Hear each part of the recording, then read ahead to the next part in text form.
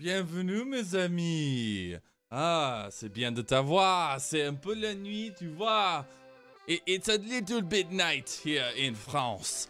Uh, we're at the Louvre. C'est le perspective académique. Et on est là pour la dernière fois dans la journée. We are here for the last time. Je veux emmener mes shoutcasters, Magical et Joshi. Une finale fois, mes amis. Comment ça va? Est-ce que ça... How are you doing? What I love that I can see France? Uh, smaller you in your glasses. Yeah. Yep. What time is it for you in France? C'est Isn't the c'est la difference nuit. like It's the night. Come on, my friend. Come on, come on. So, storytelling. You guys are storytellers. Correct? We try. Okay. I Okay. do my best. Okay. Well, in France, we are storytellers. So I, Oh. I'm going. Je vais les avoir faire une histoire. I'm, I'm going to have you do a story. Okay. Oh, okay. Okay. Di- je, uh, je pense Dignitas. Uh, a team. Was there a team Dignitas? Yeah. Oh, okay. Okay. Joshi, tell me the story. it's me. okay. Are you Uh, uh, ready? Tell oh, me okay, the okay. story. I thought I was doing that one. okay. Okay. Okay. All right. Well, get wrecked, Magical. I'm going to get to tell this, and I told Magical I was going to do this entirely in haikus today. So let's see what we can do. XU in stream gets caught. He tries to run away, but not. Okay. Okay. Uh, triple Yes. Kills XU. Ah, I c'est can count. magnifique. Okay, okay, okay. This Arrête one. ta vache. Okay. The jungle is scary. Ah oui, c'est c'est vraiment. ça fait peur. Rosethorn is always lurking. Ok, ok. Uh, XU feeling lost. There we go. That's five. c'est bien. seven, good mood, good vibes, Okay, how they good say. mood, good vibes. Um, enchanters are eh. CLG. CLG catches the digs. There is no hope left. C'était, it was a little morbid, um, but but beautiful in its own right. Oh, thank you, Joshi. thank you, thank, thank you. you. Uh, we come back to to France here. Uh, magical. Yeah. Bring us up a little bit. It's the end of the day. Come on. Let's let's hear the story of uh, Well, I was eating pop- well, I didn't have CLG. CLG. CLG. Okay, here here we go. Here we go. Here we go. All right. So I didn't have popcorn to eat during yours, uh, Josh, but I ate some Okay. chips to kind of celebrate. So here, you see, here comes the Prismal, Dootin' Doodoo. He's in the bot lane. and he, honestly, I just see Prismal here, and I'm like, yeah, you know what? He's shining like a star in the sky. That's so bright that it is also really hot. And it- nothing could really touch him. They couldn't really get them, because how can you with this composition? Unless you have Ivern, they can get kite back so easily by CLG. So Prismal's like, I have a free lane. And he turned it around too. hmm Exactly, it's free. And then here, you can see, completely free. Who can touch him? Who's ever seen a Jhin curtain call where everyone's like, ah, yeah, that guy over there. Let's just ignore him. Let's ignore him. That's exactly what happened here. He is the Hmm. king. He is untouchable. He is on his high throne, and nothing can do, do anything to him. Oh, un roi? Tu dis un roi, a king? Okay, that that was not the. That's not king the player. Well, yes, it's not King the player, but he is the king. I know in France you not The necessarily king. like kings, Le but roi. it's okay. but here, you see, again, because he's untouched, he didn't really get many kills in this game, but he's still able to get a killing spree because nobody can do a damn thing about him. And he is just like, I have never played such a free game of League of Legends in my life. C'est comme mon, mon, un de mes, mes films favoris. Les Intouchables. Les Untouchables. Uh, merci, mes amis. The story. Morbid for Joey, Joshi. Uh, but magical. Good job. Good. Thank Thank you. You're Uh, mes amis, c'est fini. Not all stories fini. have a Je happy dois ending. aller. Uh, I have to go uh, somewhere. I don't know. Eat. Do something. Uh, I can't Not be yet. here anymore. It's nighttime. You see, it's sleepy time. Okay. Good. I, I'm good. It's sleepy time. Goodbye. Au revoir, mes amis. Uh, Omelette de oh. fromage. Oh yeah, Sumi. Yeah, uh, it's always good having our Frenchmen here. Yeah, your more your story was a bit morbid, I will say. It.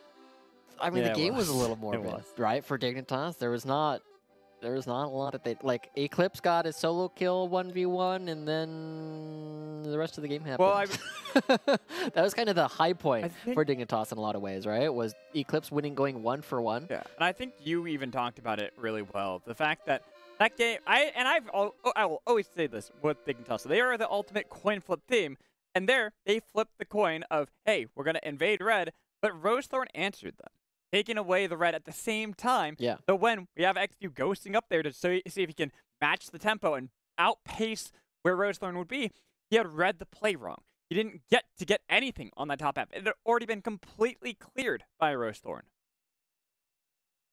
Yeah, and we saw that it ended up putting XU in a really a desperate spot. And I know, you know, I've played a fair amount of competitive fives, not at this level, admittedly, with players like Mark, right? Rafa, who is not on the streams today, but uh you know that there's a certain mindset that players will get into where they feel desperate. They feel like I have to make a play. I have to do something to recoup our losses. I have to get us into a position where we are ahead because we are the beatdown. And once you start getting into that mindset, you start making worse and worse plays in order to try and find your way back in. And XU, No, unfortunately, but wasn't I, able to do it I want to hear from our host as well. We've been breaking down that game a lot, but it's always good to have new voices. So, Lennon, hi. hello. Out of Ah. nowhere. Just Out of Mazel nowhere. tov. Uh, just passing by. Yeah. Um, no, what what an incredible, incredible game number one. And I gotta say, we've seen a lot of very one-sided first games in the series, and I, I find that interesting. Maybe something we can come back to at a later conversation. But here, it was almost absolute, right? It, it it was really scary for Dignitas to play out that game past ten minutes or so.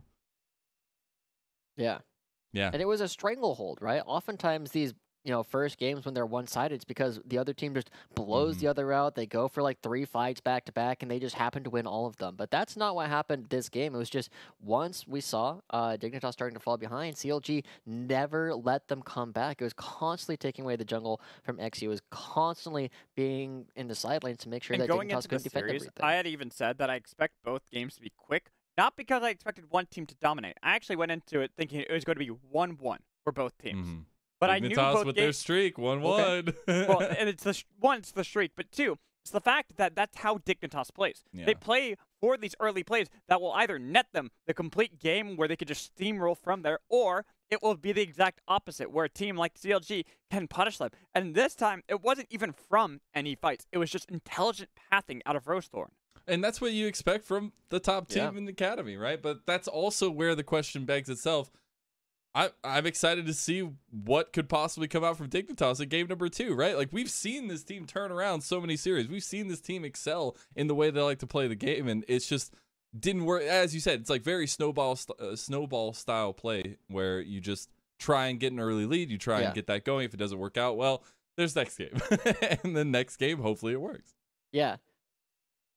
And Dignitas, we have to know that their past four series against Evil Geniuses, TSM, Immortals, and Team Liquid, every single one of Yep. those was a 1 1 draw. And so even now, as we look towards the top of the standings, where Dignitas, they have won two. Two series and lost one are still in a very good spot. There's a reason why we're talking about this as them trying to contest CLG for Yep, that top it's, spot. Uh, it's an incredible thing to be able to come back from a a game one like that, especially if you coming into game two, hopefully, right? Like, a- Mm-hmm. and, that shows a lot of mental that I find so important in academy because when you look at these players, right, they they have grueling schedules, they have a lot of things to go through, and it's hard to come through with these stage games uh, coming out that way, but.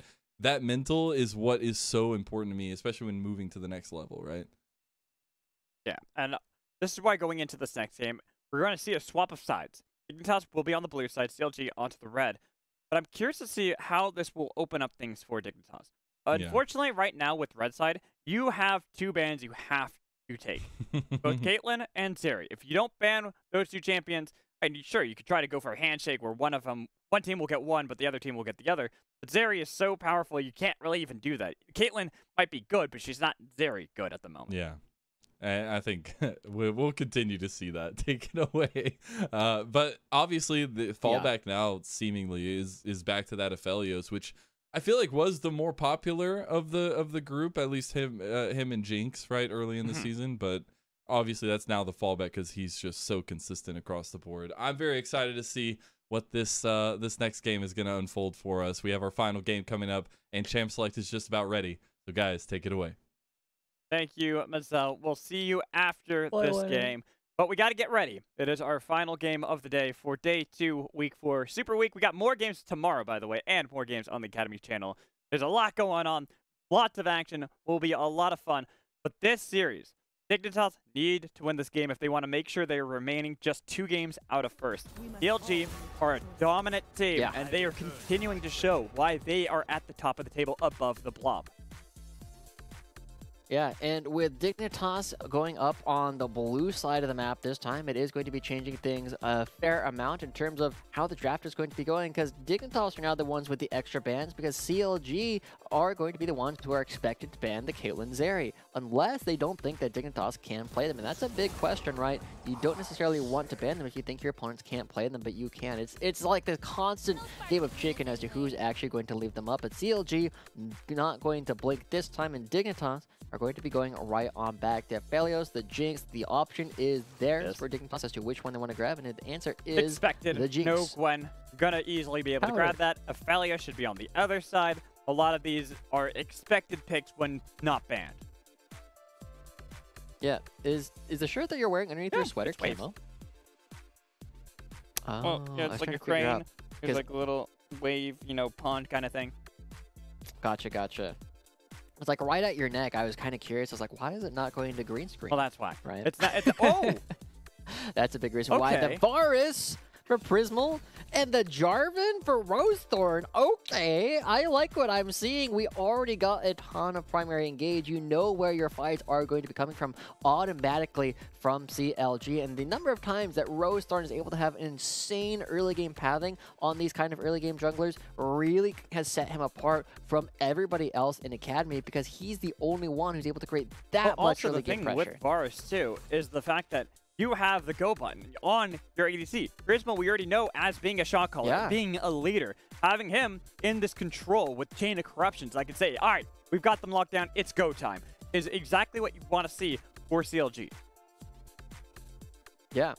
And one of the things that we also have to take a look at is, you know, everybody knows that there are reset champions like Jinx and uh, Viego and Samira that all do similar things. Varus is a Mhm. little bit of a reset champion too. Like once you get that first kill in a team fight, suddenly you get a ton of extra attack speed and it makes the rest of your fight even more powerful. And so there's a very obvious front line that CLG are drafting and Dignitas, it kind of feels like they're playing right into it because you have the Braum wall you can put up, you have the Cataclysm wall that you can put up, and CLG are going to be creating a lot of safety And for th- Prismal there's in this that game. ban. Finally, Triple in our 2022 season will not be playing the reworked Ahri. Has to go to something else, but Triple's got a very large champion pool. It's not like he's incapable of playing many different styles. We've just only been seeing that thus far since he's come back over to NA. With the Sylas as another ban from CLG, I, that's usually, as I talked about before, what you are trying to set up if you want to be able to grab Ahri for yourself.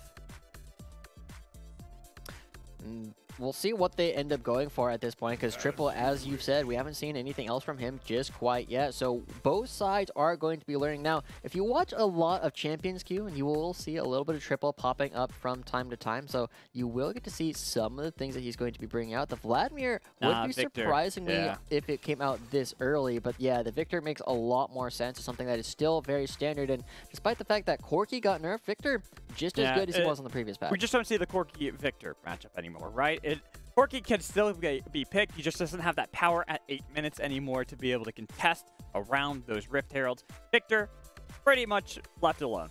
Still very strong. Still can Yeah. have great dueling potential in the level one, and then later on into the game, the amount of damage he provides in late game team fights. All a lot of useful tools for the side of CLG. Dignitas going to be going back for an Enchanter mid lane here? Like, it's set up pretty darn well at this point, right? You have both Zhao and Graves and Jinx to power up during all of this. The one thing they're missing is, you know, an obvious source of magic damage. But without a true front line coming in from CLG, because uh, Rose Thorn probably going with like a Goredrinker style build, uh, you do need a diverse style of damage. But with the LeBlanc coming through, we saw Spirax having a bit of a difficult time on that earlier. But now Darkwing And the. Renekton final pick. We had the Church of LS in game one for Dignitas, and now we have a center champ in the top lane for game two out of CLG. This is an interesting change in styles for both teams. I got news for you. Magical, as well. Uh, Mark has already lost I heard the you bet. saw. I saw. We will, in yeah, we will in fact be seeing a Rafa. Renekton cosplay in our yeah. near future, or Rek'Sai. True, true. He can do that. What in the world was all the that? clicking noises. Have you That not? was it's a the terrible Rek'Sai noise. clicking, though. I'm just saying. What terrible at clicking or just like horrifying? Because por heard qué no los both. is what I have to say for that one. But let's get back on topic. Let's talk about the games that we see. Dignitas' draft feels far more in their wheelhouse. What we've been seeing from their strength out of them for Academy, right? Last draft, we kind of criticized saying that Ivern wasn't really a Darkwing style champion. Not that it couldn't succeed, but just that's not the style we're used to at a Dignitas Quantum Pay Academy. We like this more, the more aggressive style they can play into that of CLG, but CLG also have very strong lanes at the same time. And that's going to be really crucial for the members of Dignitas right now because if they are able to play a little bit more aggressive early on in the game, it will allow them to actually have some way to play against this roster. Just because Varus is being played and we liked it because it has some of the crowd control, there's a reason it's not as popular these days. A lot of its items got nerfed. The Immortal Shield Bow is not as strong as it used to be. The uh, Wit's End that it used to build second, not as strong as it used to be because it also got some damage nerves and less magic resistance. So Dignitas is going to have a little bit more freedom to play around because uh, this champion isn't as strong as something like the Aphelios, but Prismal And it is a Prismal-style champion. We've seen out of him many times through different metas as well. A lot of comfort in that champion, but we've loaded up onto the Rift. It is our final game here for day two of week four. CLG have the advantage 1 0 in the best of two. They can get a 2 0. They will remain firmly in control of first place. CLG.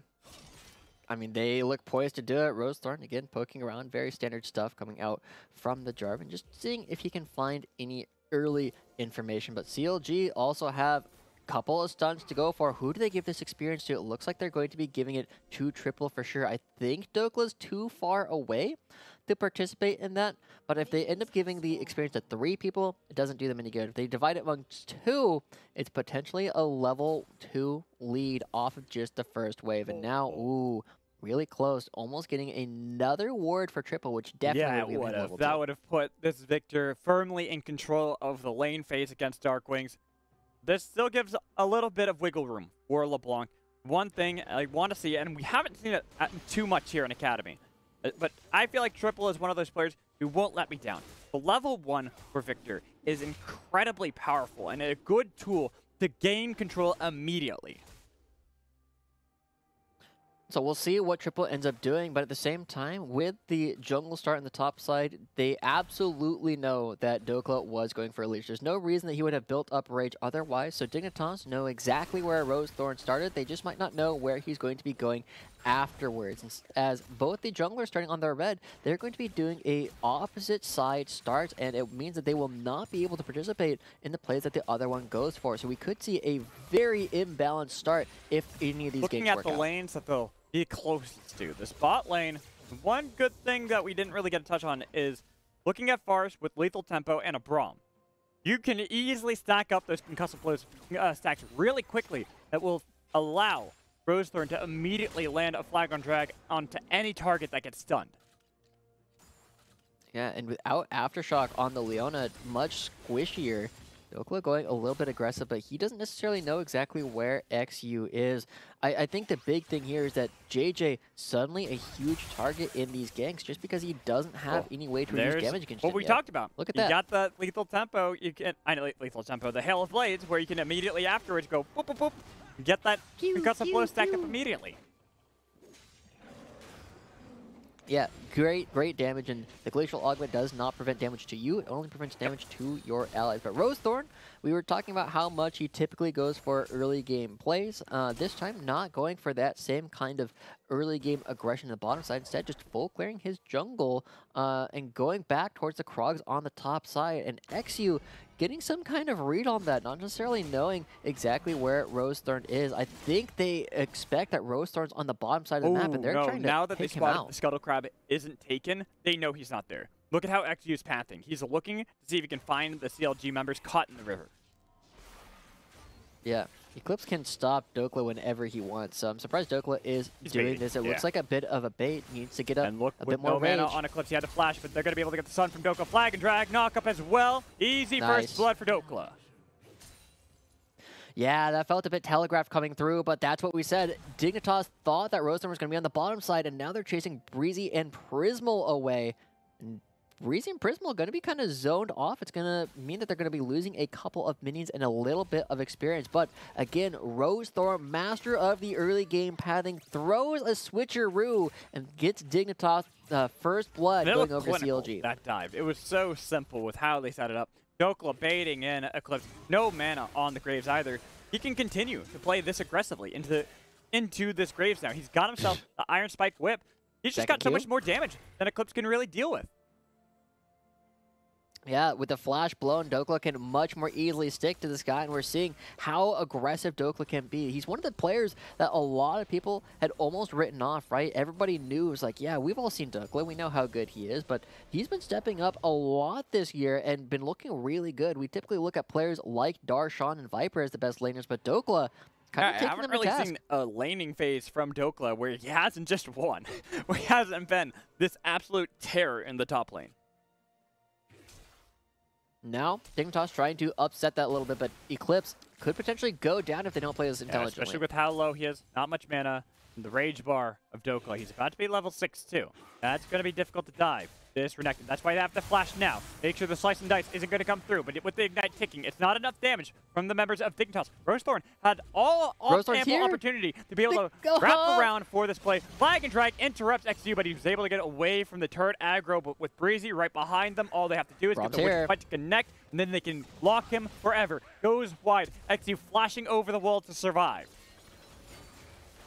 Okay, and Dhokla absolutely a-okay, doesn't even have the flash, doesn't need it. CLG turning the favorite back around, and Dignitas absolutely on the back foot. Darkwings teleports in here, more though. with the Okla using the dominance, getting a lot of damage coming in. Why did you go He's in! JJ? Not JJ XU. That wasn't necessarily what you wanted to do.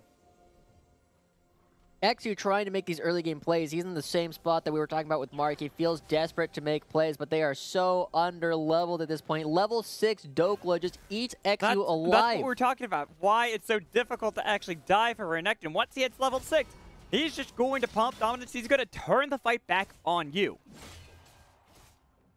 Okay, Dhokla.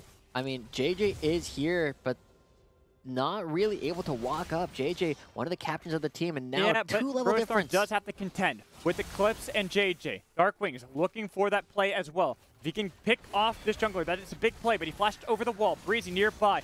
It's jumped on by XU. Still, level discrepancies for the Dignitas members. Your jungler is le lower level than the support of CLG. Ooh, the rocket goes out and hits Rosethorn, Wow. but not going to take him down. Look at the CS difference that's coming out for Rosethorn again.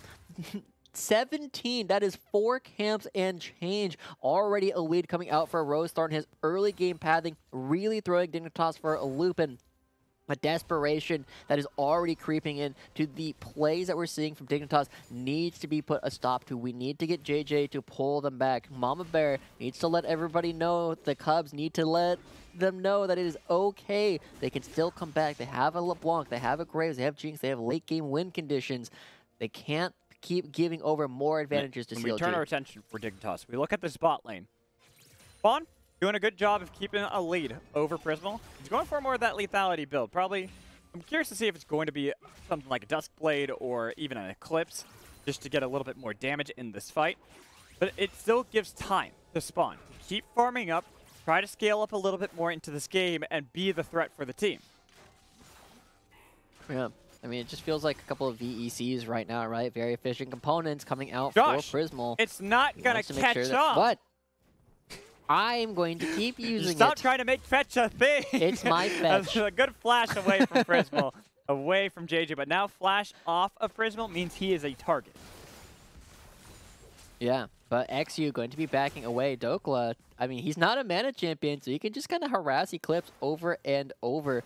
And there's the dance, right? Is Dhokla going to go back in? Is he going to go for a fight? The question is always there, and Eclipse needs to be willing to back away immediately. So good dance coming out from Dhokla, and now CLG.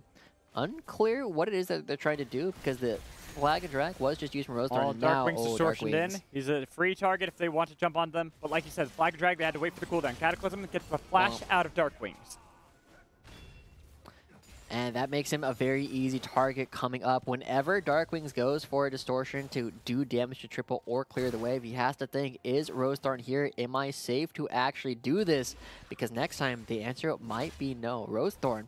Instead, just with so mm-hmm. many friends up here on the top side, we've been noticing that both Breezy and JJ spending almost no time in the bottom lane, meaning that they are very low on experience. JJ only level 4 still, where Breezy at least level 5.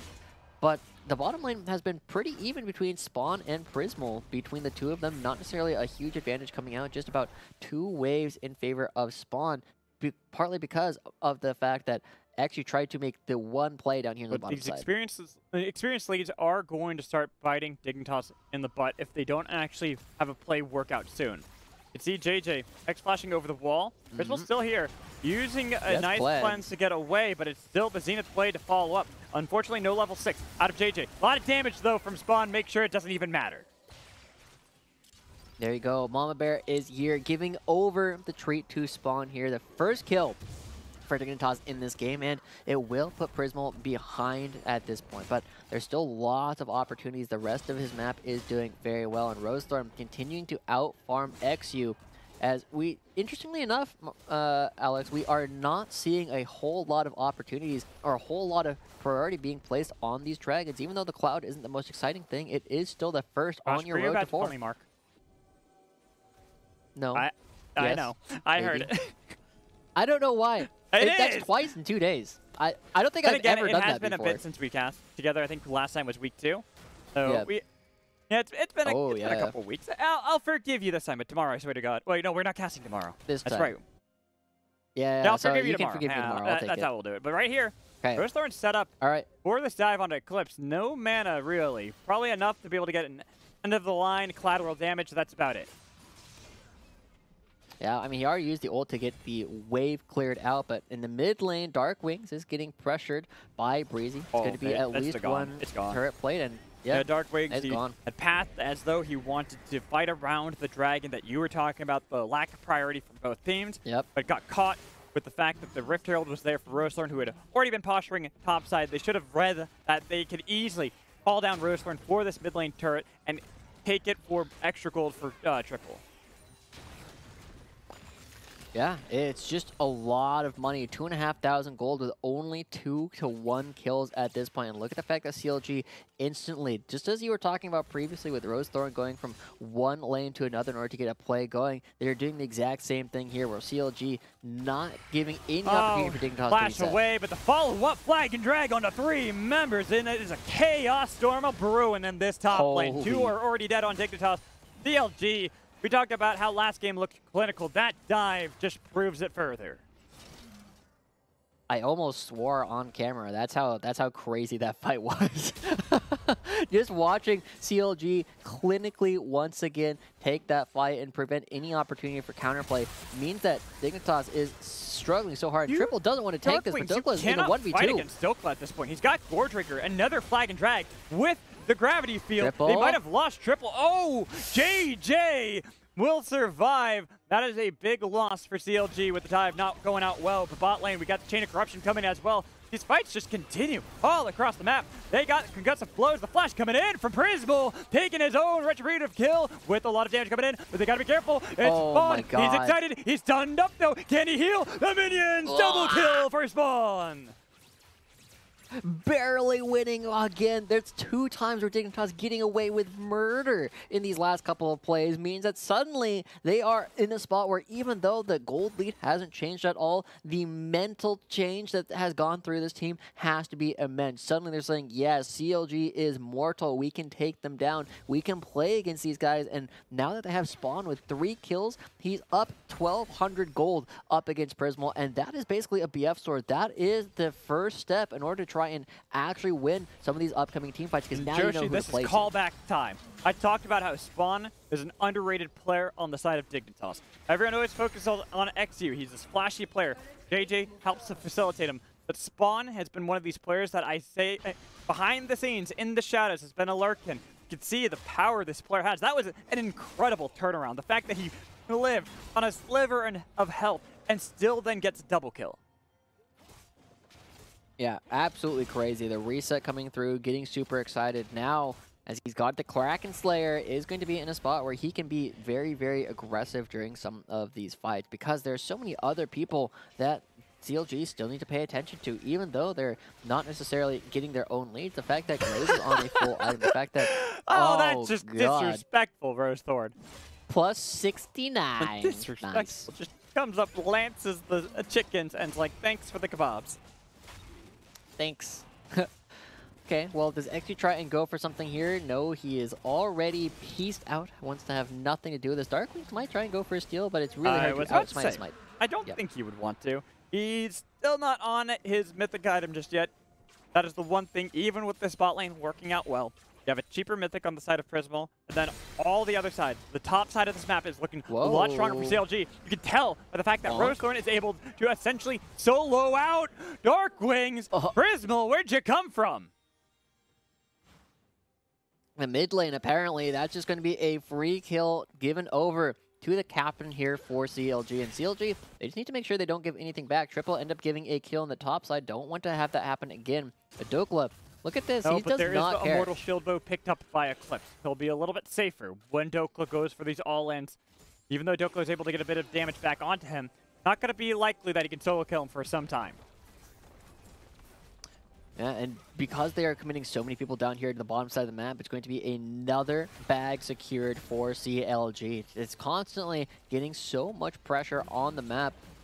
Triple, again, out farming his opponent. I'm curious how many stacks he has. So he already has the E evolved. It doesn't, yeah, it doesn't have the Q evolved, and he's only about a third of the way there. So he's, because they're not necessarily getting that much fighting for Triple, he doesn't have that many extra stacks in order to get all of his evolutions complete. But as they start to get that coming through, you'll get more and more utility coming out of this character. And Triple showing that he can play more than just a Ahri. Well, looking like pretty I good on this said victors before, might have only played Ahri so far, but we've seen him in Academy before. So far. He's played many different champions over his career here in Academy in NA. I'm not too surprised to see him have proficiency on this Viktor. And with the fact that he is in a, a good, comfortable spot, not exactly a massive lead over No way. No way. No! Oh. Okay. I know. I, that's why I was waiting. I didn't think it was going to happen. If it was, if it did, I would have reacted. But going back to what I was talking about, Triple here is sitting pretty comfortably. Got a kill for himself, assist, a little bit of a lead over Darkwings. And you talked about it before. When you play a LeBlanc and you fall behind, doesn't feel very good because what can you really do to No. impact these fights? Wait. Uh, you just gotta wait out the crowd control, right? You gotta make sure there's nothing left to hit you back, and it means that LeBlanc can no longer be a super proactive tool and becomes a reactive one until you have about three or four items and you can start to threaten people once again. But because they are under leveled, because they are about the same level as Prismal, the amount of pressure that they put on to the map is so much lower. Notice the fact that JJ, level six, he is down six levels on the solo laners of CLG. Ouch. That just that and the thing that Yeah. sucks for that is JJ is trying to make these plays elsewhere. That's why he's so far behind. Even if he's 1-0-1, looks pretty decent. The spot time spent outside of these lanes has been so much that Breezy, who's also spent a lot of time out of lane, is still two levels above JJ and has died, I mean, technically, infinitesimally more than JJ, but one more time of death should net more of a lead for JJ than it does for Breezy. Exactly. Yeah, and the levels we bring them up because each level, on average, for an average champion, is worth about a thousand gold. Right? It's a lot of money that is being missed out on because of all the levels that CLG has. So we see that they are up about six thousand gold just in terms of like the raw amount of money they have. If you take stock of everything across the board, uh, they are up a level top lane, the same in jungle, a level mid lane, down two in the bottom lane, but two levels, or now just one level coming out for Breezy means that they are still actually ahead, like even more than just the gold that they were able to pick up. And as this goes down, the local gold going over to Viktor and the Jarvan is going to continue accelerating triple in this game. He's already got his Shadowflame almost completed. Right here, the charge. Oh, XU barely gets the eye, so not a completed charge. Won't get it below a threshold. I kind of want to go back to that experience that you're talking about. That could be the saving grace for Dignitas, where they have an mm-hmm. experience lead, Mm. and it's on to Spawn. As long as they can keep Spawn fed and nice and beautiful and juicy, Okay. that's going to be all that matters. But Rosethorn tried to go into the backline, had to flash away because Spawn just has too much damage. They got the kill into one, but it's going to be traded support for support with the kill onto LeBlanc too. But look at Spawn, on touch, getting the damage onto Dhokla. They can chase this back. He's nearly down, but he still survives, and somehow Prismal was able to get Eclipse all the while. Knockup coming in from XU, but they're just kiting this back. Spawn wants to be able to do what he can for the team with the zap coming in as well. He's getting some crits, but still, CLG members are barely holding on to dear life. Finally, he's excited to be able to dodge away from the flag and drag. No crit that time on a Rosethorn. Only going to be able to get the one kill on a Prismal. Man, Spawn is trying his hardest in every single one of these fights, but the expert disengages coming out from most of the members of CLG mean that it is still CLG favored, but Prismal is going to be dead a lot longer than Eclipse and Darkwings, and the difference in terms of when they actually spawn is huge because the teleport difference is available. This is an opportunity right now for Dignitas to try and make something happen, but they don't believe that the opportunity is there. They're not going to be going for it. The confidence looks shattered as we get the replay coming through, and we get to see everybody just disengaging. Dragon goes picked down. up second one of the game. We got to see what our rift is. It's the Hex Gate Rifts, and I have some opinions on this Hex Rift. My opinion is no one is Yeah? legally allowed to take any Hex Gates if you're looking for a fight. Yeah. What? So say What a fight's about to break out and you want to take the Hex Flash to get a flank, no, Yeah? don't do it.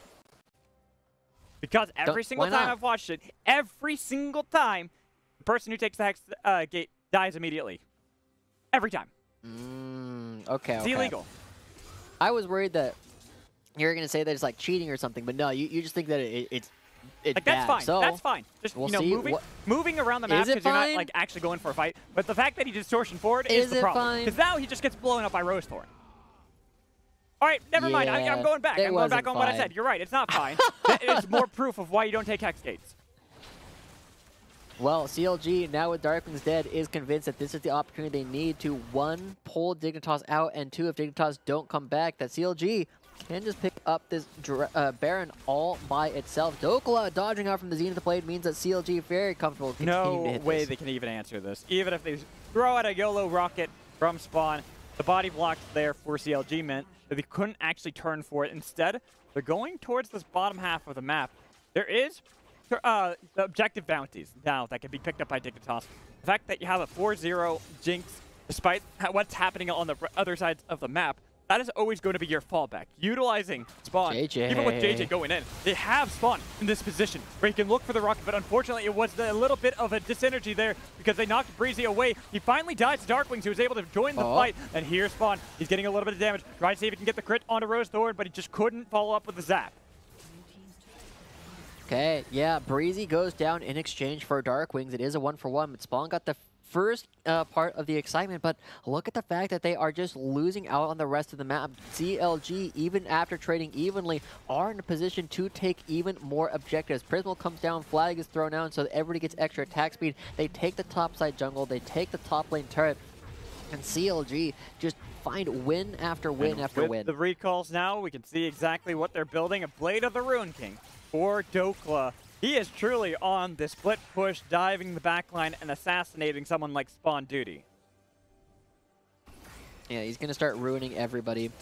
Uh, Dhokla is just so strong. The Renekton is here. It might be a center champ, but in this game, it's way more than that. It's totally controlling the Rift. It is having so much of an impact every single time it has been able to join. That's because you're able to point and click on a single person and stun them, right? You have so much control over every single one of these fights. And we see when you're 3,000 gold up on your lane opponent and just have an extra item, it means that Eclipse is basically No, irrelevant to this that game. CLG, they- they're not even, they're not sinning. They're Yeah. just atheists. They beat the Ivern last game. They have the, Mm. the Renekton this game. They're completely uh, antithetical to what the church stands for. Oh, what is a god to a non-believer?